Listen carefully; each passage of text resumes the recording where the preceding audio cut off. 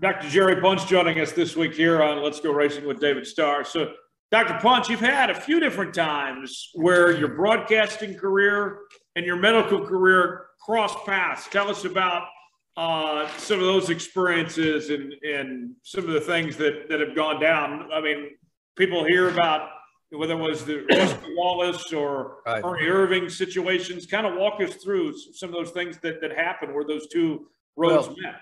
Yeah, I think I think the uh, the one that people remember the most is the that because it uh, was the uh, Rusty Wallace one at Bristol, and it was uh, the day before the Cup race, it was the afternoon of the uh, the Busch race back then, the Xfinity race, and very few of the Cup guys wanted to practice in the heat of the afternoon because it was a night race. It was in the August night race, and so but there were two cars on the track, Rusty Wallace and Dale Earnhardt, and uh, I'm standing on pit road, the middle of pit road, getting ready to interview a driver, tape an interview for a driver for that night uh, who had qualified on the front row of, uh, of for the Busch race. It was Rick Mast.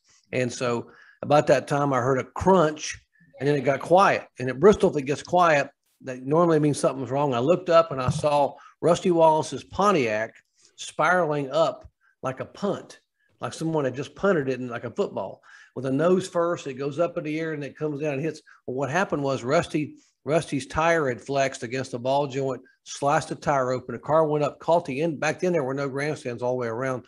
It caught the end of the grandstand, which launched it in the air, and it went maybe four stories high, and then came down and rolled and rolled and rolled, and came to rest with the front of the car up on the pit wall, and maybe 15 feet from where I was, smoke everywhere, steam, debris. I could see the roof was caved in, and Rusty was slumped over. I ran over there and uh, he wasn't breathing. I couldn't get to him because the roof is caved in and the window net was bent. I could just get my fingers in. He had an open face helmet back then, thankfully, and I could see he had blood out of both sides of his mouth and wasn't breathing. So I was able to get fingers in and just enough to pull his jaw forward to get an airway. And uh, and their Earnhardt stopped his car and he comes running over there. He, sees what's going on. He said, What do I got to do? What do I, I said, You got to get this roof off, Dale. And Dick Beaty, the NASCAR director of officials, comes out and he's holding a Winston Cup hat over my face while I'm trying to hold Rusty's jaw through that through that uh, crumpled roof enough. Uh, and they're trying to keep my face from getting burned while they're sawing an opening for me to get to him. Uh, and we get to Rusty, get him out, put him in ambulance, suction him out.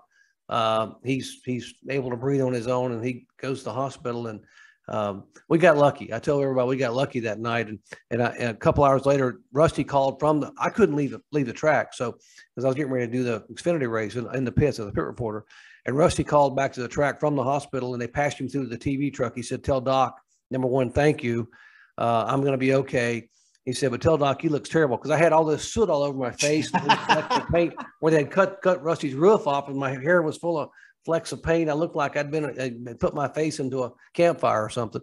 But uh, and uh, anyway, as right before the Busch race started, Dale Earnhardt walked down pit road and walked right up to me. He walked up and, and he said, "You realize, Doc, that you probably saved Rusty Wallace's life today." So you realize that? And I didn't say anything. He says, why would you do something like that? Why would anybody do that? and so, and I laugh. I said, yeah, why would anybody say Rusty? And he said, he, he said, no, I'm, I'm, I'm glad we, I said, Dale, we got lucky. We got real lucky that day.